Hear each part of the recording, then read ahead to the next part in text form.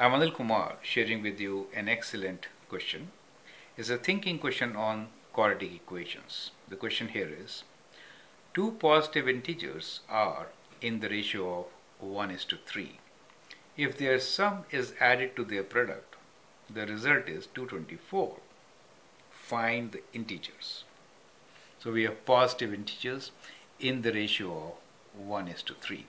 So if let integers be let us say x is 1 then the other one is 3 times x. So x and 3x right? So their ratio is 1 is to 3 I hope that statement is now absolutely clear. Now it is simpler. It says if their sum is added to their product. Now what is the sum? Sum is x plus 3x so if their sum is added to their product it means that is added to product means x times 3x then the result is 224 then you get 224 find the numbers or the integers. So that is the equation. So it leaves us with a very simple quadratic equation correct? So what do we have here?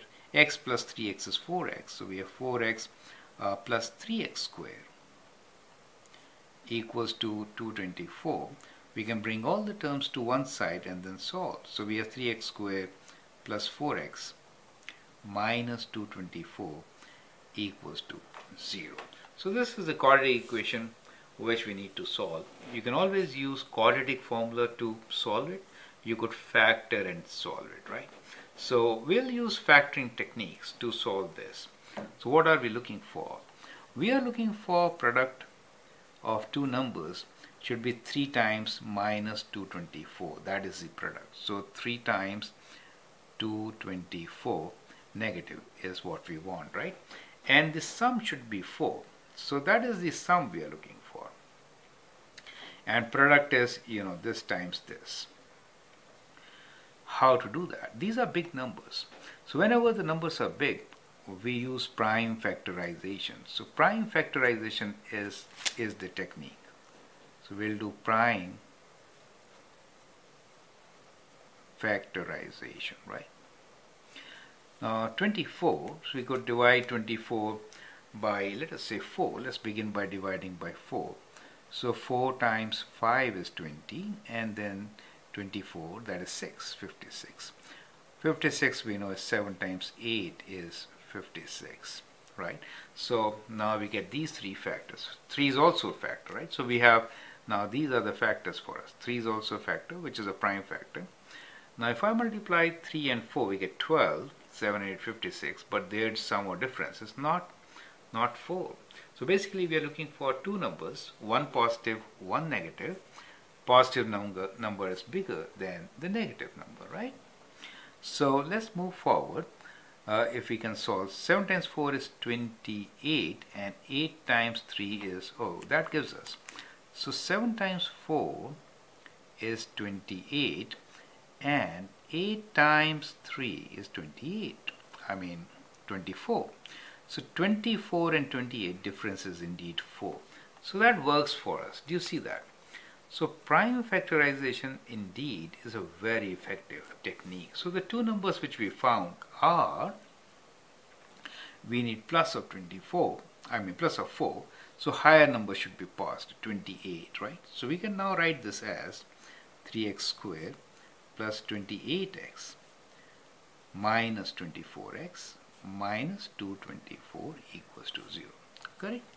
Now we can continue with our factoring. We have x common here. So we have 3 plus I mean 3x plus 28 here we'll get 8 common. So minus because you know 8 and then these are the numbers which comes here we need 3x correct so minus 8 common so 3x and uh, 8 when you divide into this we get plus 28 equals to 0 now we can factor 3x plus 28 and we get x minus 8 equals to 0 right? So that gives us two possible solutions. One of the solution is when x minus 8 is 0 right the other one is when 3x plus 28 is 0.